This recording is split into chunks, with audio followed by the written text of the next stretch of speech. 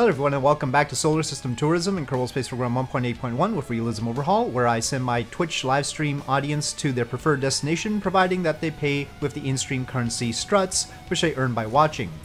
In this video, we begin with the launch of the Daenerys SSTO, carrying a stage with food, water, and oxygen, and potentially the ability to bring home Arthur and Katak who are around Mercury. Now, the Daenerys SSTO is capable of launching 880 tons to low Earth orbit, and I use it sparingly, though fairly often in this series so far, mainly because of the people wanting to go to places like Mercury. And so here we are again, uh, trying to help our Mercury tourists uh, return home. Uh, last time we had checked on their Delta V, and it didn't seem like quite enough to capture around Earth successfully after making the transfer. They could make the transfer, but they couldn't capture. So we're sending this over to help, and the food, water, and oxygen would just be enough for the trip home, basically. And otherwise, it's meant to push them on their way.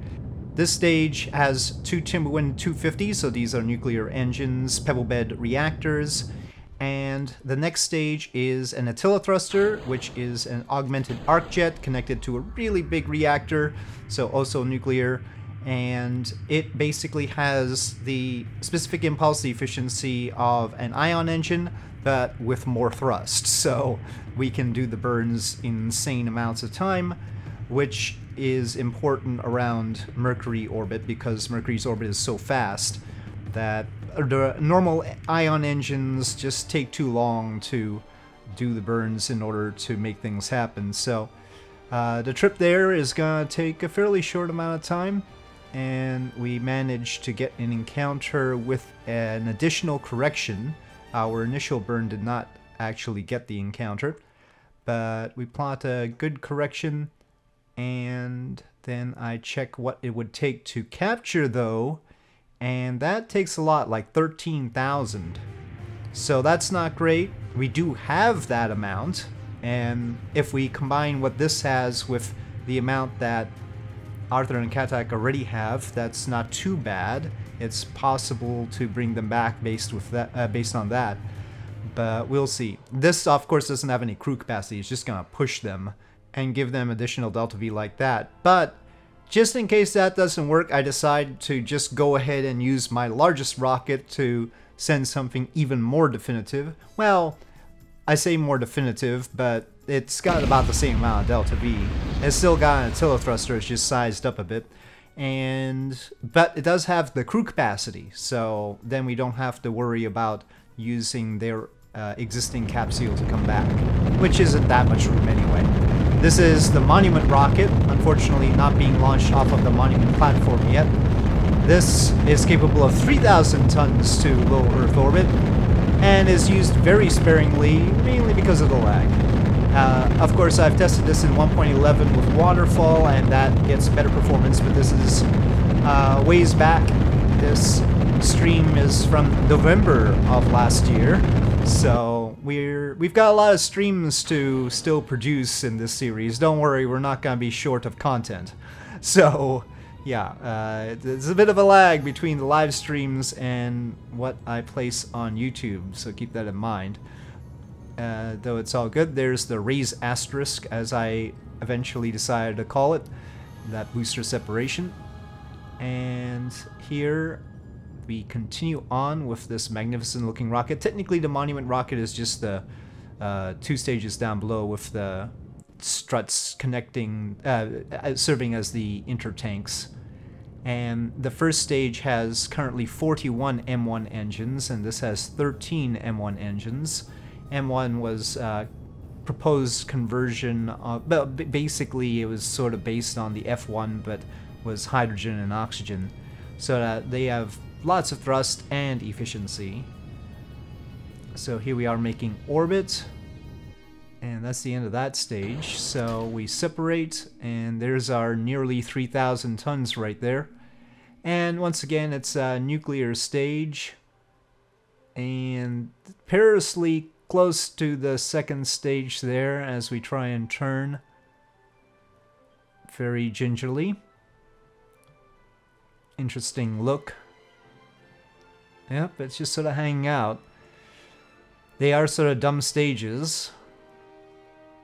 And here we are turning to the maneuver node and burning for Mercury. So fairly hefty burn, 6,400-ish meters per second. This stage can handle it. Five of the Timberwind engines. Again, uh, 2,500 kilonewtons each. And that's what it looks like skirting along with Fizz Warp. And there we go. Uh, well, close enough, I guess. And here, the fuel for the Attila thruster is just liquid methane. And it just shoots it out the back with great efficiency. Liquid methane got better thrust than the other options, I believe. So, there's a view of this contraption, very heavy contraption, heading out to Mercury. And fortunately, the next thing is fairly small by comparison. It does not need one of my largest launchers available. This is just the little scanner probe heading out to Ceres. And I give it a stage with lots of Gemini lander engines because those are cute and very useful. And then also a Briz stage, just for good measure. Uh, those stages both to capture around Ceres, actually. Mark 1 Charlie. And this happened to be launched on the anniversary of Apollo 12. So instead of listening to music during the stream, we listen to the Apollo 12 audio, which is what you're hearing. We are launching the probe on a special rocket with two Titan boosters surrounding a core that has nine Raptor engines, nine sea level Raptor engines, which I ignite right there mainly because I wasn't happy with the control provided by the Titan engines. Otherwise, we could have lit them a little bit higher up. Uh, but the upper stage is uh, New Glenn second stage, so those are BE3Us. Lately, I've uh, seen numbers on the BE3U that make it much less attractive. Its specific impulse, its efficiency is not that good, apparently. I'm not sure. Um, I need some verification on that. So, if it turns out that the efficiency is really that bad, then I might have to reconsider it and just go back to using J2s for this purpose. Uh, as outdated as they may be. The J2X I don't like because it's too heavy, so... The Raptor 9 rocket I also call the Unix rocket. I don't know why I put the fins on except for maybe looks because it's obviously not going to return or do anything. Maybe for stability, but I mean with the Titan boosters and everything.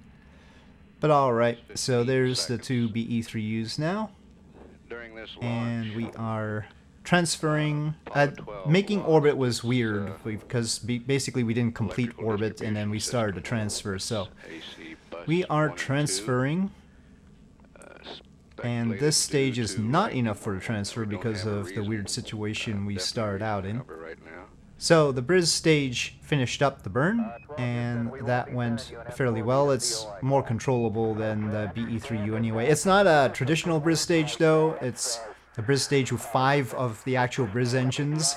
Uh, the normal Briz stage has one engine and then four verniers, but I just put extra engines in the vernier places, so a little bit of uh, a thing there, but otherwise the Briz stage takes too long to do its burn. They did in fact get hit by lightning on Apollo 12, and after doing this little plot for the correction, I separate off an HTV from our Mir station around the moon, and we need to resupply that. So the HTV goes off with its weird sort of AJ-10 assembly at the back there. And with a nice little parting view, we turn to launching a new HTV to send to the moon, and I do that with the New Glenn. Because nothing too much larger was necessary, basically. Though I did use this New Glenn in non-recoverable mode. As you can see, no fins or anything. It looks really slick like that, but obviously frowned upon in this day and age. And off go the fairings, and there's our little HTV. And making orbit. Plenty of Delta V to transfer. In fact, we'll use some of the Delta V to capture on the moon, I think. Or maybe there's no MLI layers and let's see. Uh, well, you use it to make a little correction, but then the rest is all on the HTV, which has plenty of Delta V anyway. Uh, so here's the AJ10190. Obviously the real HTV does not have an AJ10190, but it's necessary for moon missions to have something like that. And here we are approaching Mir. And getting ready to dock in the exact same place that the previous HTV had departed. It's the most convenient location by far. And... And dock. Alright, so that's a moon mission. And then this is Mercury, where I decided that we needed to return Arthur and Ketak back to the Mercury station because in their vessel on their own, they had enough to the food, water, and oxygen to go back home, but not enough to just loiter until the rescue vessel, I guess you could call it, uh, arrives. So they have to dock back to the station, which has the rest of the supplies. The lag around here is crazy, I still don't know why. I don't know what causes the lag. It's a special kind of lag right around this thing and these vessels. So I haven't quite narrowed it down, but there's something doing a whole lot of calculations. I tried to check what kind of supplies they had, but when you dock like this, it doesn't immediately refresh that life support monitoring window until you change a scene. So I changed a scene, but uh, we have other pressing things to attend to. I was pretty sure they had enough supplies. And this is the launch of a Dragon to the ISS because Basila wanted to go to the ISS, so this is a paid tourist launch. I point out where we should be launching from, which is Pad 39A. But anyway, this will be good enough. So, don't often use the Falcon 9 because the 9 engines act with their plumes actually produce a fair amount of lag as well. And it's being launched on a KOS script, so it automatically shut down the first stage at the appropriate time, and I could drop the HUD and just enjoy the view. And here we are making orbit no special problems. The one benefit to using the Falcon 9 is that the launch script is fairly well practiced, I guess you could say. The downside to using the Dragon capsule is it does all its burns with its RCS, not with the Super Dracos.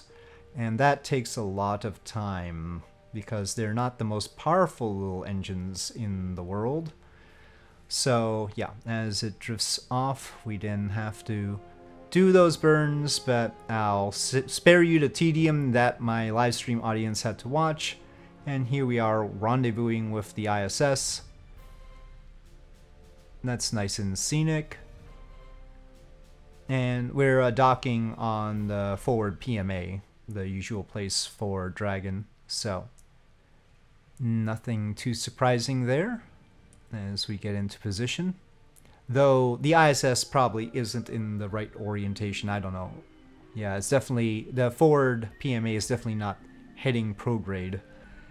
Anyway. Here we go, and dock, dock, docked. Alright, so that's done, and our tourist is on the ISS as planned.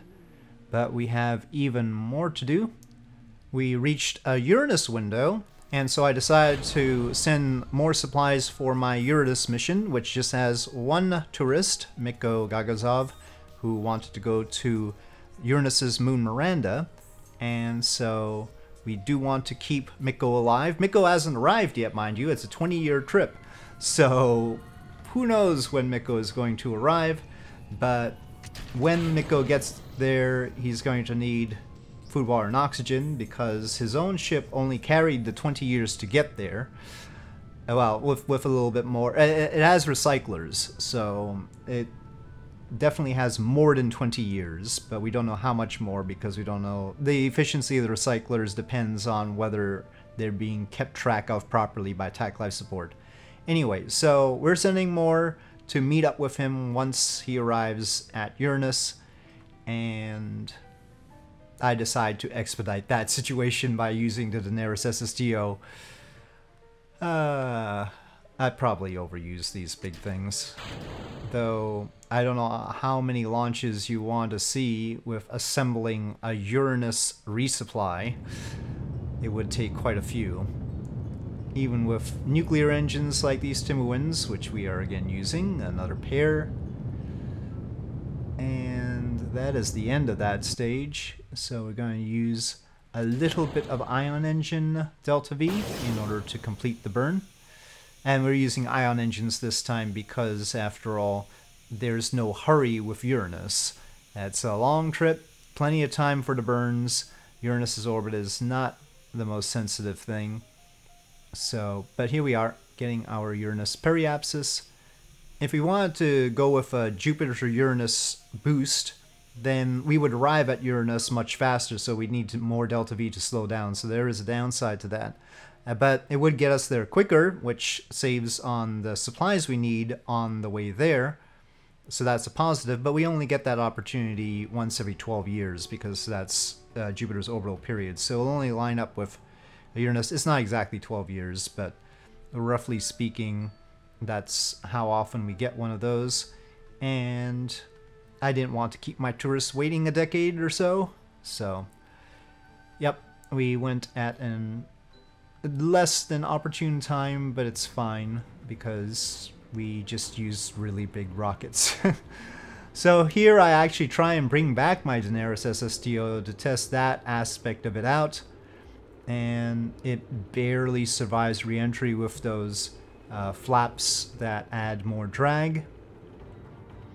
It's very heavy uh, still, as you can see, more than 1,100 tons.